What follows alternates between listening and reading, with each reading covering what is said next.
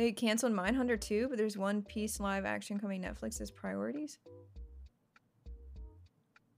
So they've canceled every show you're telling me about. Then I'm not gonna watch it. Cause then it's like, well, you get you you fall in love with it, and then you're like, there's nothing left. They canceled it. That's sad.